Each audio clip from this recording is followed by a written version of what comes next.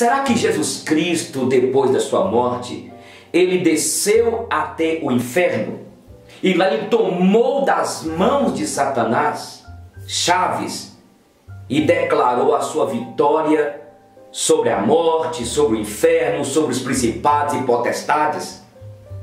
Será que ele pregou mesmo aos espíritos que estavam em prisão ou prisões desde a época lá de Noé?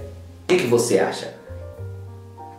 O texto de 1 Pedro capítulo 3, versículo 19, é a base que muitos pregadores, teólogos referendam estas afirmações.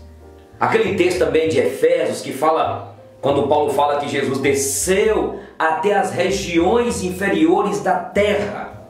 Veja bem, até no quarto século, o credo apostólico declarava que Jesus Cristo foi crucificado, morto e sepultado. Aí houve um presbítero no quarto século chamado Rufinos, e ele acrescentou esta cláusula, esta declaração substitutiva do crucificado, morto e sepultado. Mas quando foi no sexto século, porque todos aqueles teólogos, e até hoje nós também somos influenciados pela cultura grega, e aqueles teólogos foram influenciados por uma cosmovisão grega quanto ao Hades. E no sexto século, eles deixaram que Jesus Cristo foi crucificado, morto e sepultado e desceu ao inferno. Veja bem, qual necessidade que Jesus Cristo teria de ir ao inferno? Outra coisa, precisamos de entender que não tem ninguém no inferno. Se nós formos entender o texto bíblico, o inferno vai ser inaugurado depois da, do trono branco.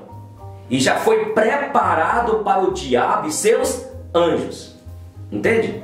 Quando a Bíblia diz que Jesus desceu até as regiões inferiores da terra, ele vivenciou toda a, a opressão, toda aquela pressão demoníaca dos principados e potestades. Jesus viveu em vida e ele entrou em vida no inferno, em vida, não depois da morte. Porque a ideia de inferno também temos de compreender uma ausência total de Deus. E Jesus foi abandonado pelo seu Pai, por Deus. Por isso que ele viveu toda a pressão espiritual, pressão psicológica, ele sentiu na sua carne, nos seus ossos, nas suas vísceras, toda a pressão demoníaca, toda a pressão veio sobre ele, chegando ao ponto, lá no Getsemane, ele suou, suor, os seus poros, eles é, dilataram, tiveram aquela elasticidade e ele derramou sobre o seu corpo, suou sangue. Foi a pressão. Jesus viveu nas regiões aqui inferiores da terra o inferno. Entende? Então a ideia do Hades é a ideia de sepultura, e ele foi sepultado, ele foi para é, o túmulo, como qualquer humano, como qualquer ser humano é sepultado, ele foi sepultado. Esta é a ideia. Então, há uma compreensão de alguns mestres sobre o Hades que articula o seguinte: que o Hades é o local dos espíritos desincorporados. De um lado, do mal e desincorporados do bem. Então aquelas pessoas más, ímpias, foram, já estão neste local que morreram, os seus espíritos estão neste local de sofrimento. Por outro lado, há também o Hades, que é o local dos espíritos incorporados, dos bons, daqueles que alcançaram a salvação em Cristo desde a época é, de Abraão, de Noé, de Moisés, a igreja do passado que foi salva pelo, pela fé e não pela obediência às, às obras, aos mandamentos, pela fé, porque criam que o Cristo viria. Estão agora todos aqueles que morreram neste local, os espíritos desincorporados, esperando a ressurreição, por isso não está vivendo uma alegria tão completa, porque falta o corpo. Então há esta interpretação quanto ao Hades. Mas na verdade, como eu lhes disse, Jesus viveu toda a batalha aqui. E veja bem, a todo tempo os demônios, Satanás, queria desviar Jesus da cruz. Queria, na verdade, tirar Jesus de ir até aquela cruz e fazer expiação pelos eleitos de Deus que foram eleitos desde antes da fundação do mundo tentou tudo.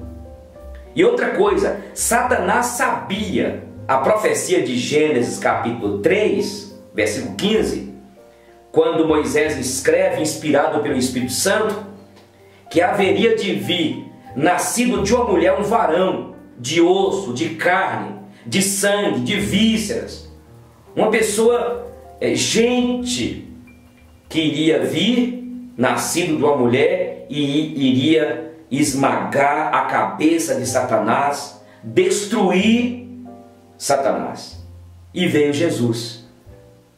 Antes, todo líder que surgia, é, liderando o povo de Deus, é, Satanás chegava e cercava e levava ao pecado. Mas quando chega Jesus, que nasceu da Virgem Maria, sem pecado, cresceu sem pecado, foi incólume.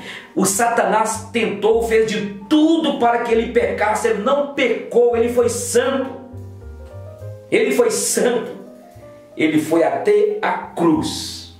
E na cruz, ele triunfou sobre os principados e potestades, expôs a ignomínia e venceu Satanás. E na verdade, aquela metáfora do passado, ele então detona, esmaga por completo as forças malignas e derrota Satanás na cruz com seus demônios. Esta é a realidade que Jesus é, viveu o inferno antes da morte e venceu os principados e potestades e venceu, na verdade, triunfou na cruz e cravou naquela cruz a minha dívida e a sua dívida. E lá na cruz concretizou, ganhou concreção, completude, tudo do passado. Ele, na verdade, é, cumpriu tudo aquilo que era o arquétipo, que era, na verdade, tipificava, era sombra das coisas que viriam e vieram, e Jesus consumou na cruz do Calvário. Não havia que motivo havia de Jesus ir ao inferno? Que motivo? Hein? Outra coisa, quando diz que Jesus pregou aos espíritos em prisão, veja que nos dias de Pedro, não está se tratando de pessoas nos dias de Pedro, mas nos dias de Noé lá. E Jesus estava lá em Noé. Ele estava lá na pessoa de Noé pregando como pregoeiro da justiça. Aqueles homens que estavam presos, aprisionados pela ignorância, pela falta de conhecimento da justiça de Deus. Eles não entendiam, eles não aceitaram que Deus iria julgar o mundo, ia julgar a terra e mandar aquele dilúvio. Então Jesus estava lá em Noé, pregando. Jesus estava lá, Noé foi o pregoeiro da justiça, como nós hoje somos os ministros da nova aliança.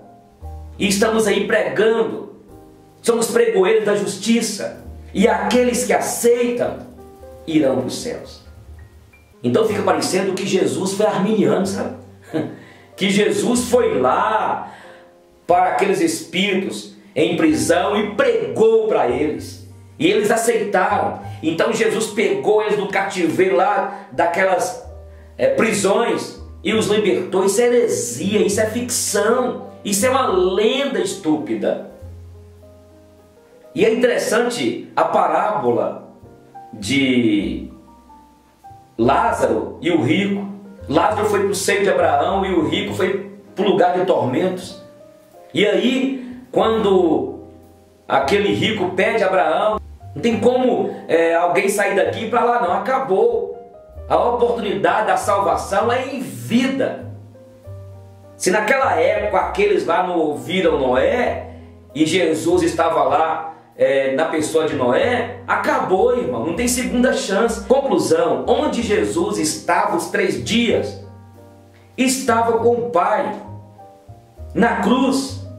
Antes de morrer, aquele malfeitor virou para Jesus e disse: Olha, lembra-te de mim quando estiveres no teu reino. E Jesus disse: Hoje mesmo tu estarás comigo aonde?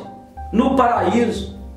E antes de morrer, quando Jesus estava ali dando o último suspiro, ele declarou ao Pai: Receba, em tuas mãos entrego. Ele se entregou e o Espírito foi para a presença do Pai. Entendeu? E ao terceiro dia, ele ressuscitou e retornou e está na presença do Pai e está em todo lugar, porque Ele é o Deus onisciente, onipresente, onipotente. Entende, meu irmão? Então, não existe essa ideia de que Jesus foi no inferno, tomou chaves e riu do capeta e pregou para os espíritos em prisão. Isso é heresia. Até mais.